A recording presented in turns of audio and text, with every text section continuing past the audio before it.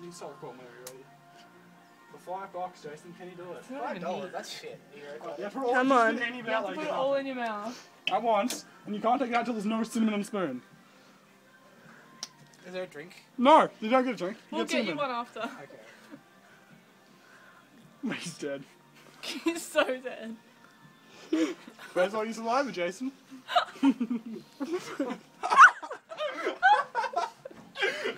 nice try, though. My mouth is so dry. what the fuck? It made me cry.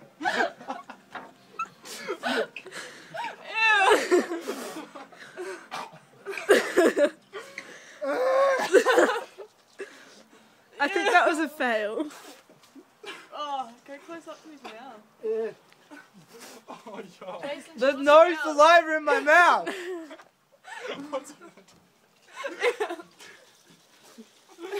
He's trying to spit, but he doesn't spit it out, so what's he gonna do? It's stuck to my teeth. Oh, You need disgusting. to drink Jason.